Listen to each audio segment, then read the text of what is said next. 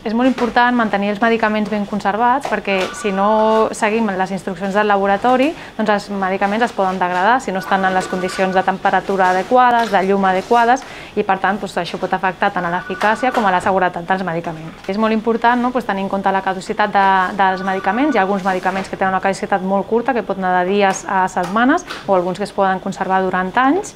També hem de tenir en compte eh, el tema de la llum, no? que hi ha medicaments que són fotosensibles, no poden estar exposats a llum natural ni a llum artificial. Hem de tenir també en compte altres factors, sobretot quan preparem els medicaments, com l'esterilitat. Hi ha medicaments que s'han d'injectar i, per tant, han de ser estèrils. I això ens implica doncs, una sèrie de controls de microbiològics, controls de l'estabilitat dels medicaments diluïts. Doncs, per controlar tot això, doncs, per controlar la temperatura, per exemple, tenim registres informatitzats de, del control de temperatura de les neveres, de les àrees ambient aquí a la farmàcia, però també eh, en algunes àrees assistencials, i això ens permet tenir uns registres que en cas que hi hagi una desviació generen un avís i podem eh, revisar aquests registres per confirmar si aquesta desviació puntual ha pogut afectar l'estabilitat del medicament o simplement doncs, es pot mantenir en les condicions com estava prèviament.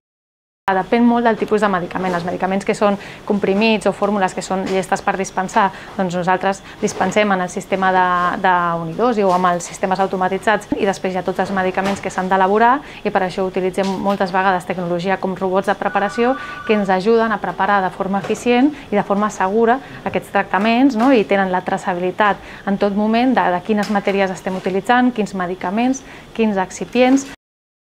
Amb els milers de medicaments que es dispensen i s'elaboren cada dia en un hospital tan gran, és imprescindible comptar amb tecnologies des de suport informàtic en tot aquest procés de prescripció, validació, administració, en el procés d'elaboració, en el procés de control d'estocs. Seria inviable no? no tenir sistemes automatitzats que t'avisin de que hi ha un medicament que caduca dintre de 15 dies o que hi ha 5 medicaments que caduquen al cap de, de dos mesos.